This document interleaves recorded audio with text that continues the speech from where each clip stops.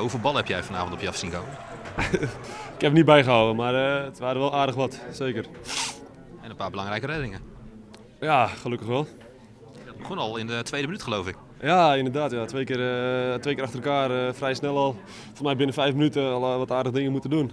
Ja, het is niet echt een goede start van de wedstrijd, maar ja, ik ben blij dat ik, eh, dat ik nul heb kunnen houden vandaag. Voelt goed. Hij zegt niet echt een goede start van de wedstrijd. Eh, hoe vond je de eerste helft in zijn totaliteit? Ja, ik vond de eerste helft niet heel, niet heel erg goed. We kwamen wat, eh, ja, wat, wat, wat gemakkelijk de eerste 30 minuten door en ja, het pakte niet helemaal goed uit. Maar gelukkig herstelden we wel de laatste 15 minuten van de eerste helft.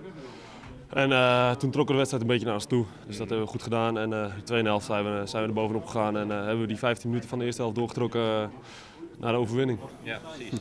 Ja, want het was af en toe wel hectisch hè, in de tweede helft voor jouw doel. Ja, zeker. Maar het was ook volle bak tegenhouden. En eh, ja, kost wat kost die nul, eh, die nul houden. Dus dat, eh, Met soms gevaar voor eigen leven. Ja, ook nog ja, inderdaad. Maar goed, dat hoort er allemaal bij. En met z'n allen hard gevochten om deze, deze overwinning binnen te halen. En ja, dat is gewoon mooi. Ja. ja, derde overwinning op rij. Ik bedoel, drie weken geleden was de sfeer eigenlijk heel negatief. De sfeer is nu in één keer heel positief. Kan heel snel gaan. Ja, dat klopt. Ja, zo gaat het in de voetbalrij. Speel je slecht, dan, eh, ja, dan is het negatief. En dan speel je weer goed, dan, eh, dan is het allemaal weer positief. Maar goed, we hebben eh, een trouwe aanhang met, met heel veel supporters die altijd achter ons staan. En daar, die bewijzen ze zich vandaag ook weer in het uitvak. weer prachtig, helemaal vol. Dus ja, Als jij dan aan de andere kant staat, hoor je ze wel? Ja, ja, ja, zeker. Dat maakt niet uit waar ik sta, volgens mij. Ik denk, al had ik in Deventer gestaan, had ik ze ook nog gehoord hier. Maar nee, het was weer echt goed, goed, goed voor elkaar. Dat is mooi.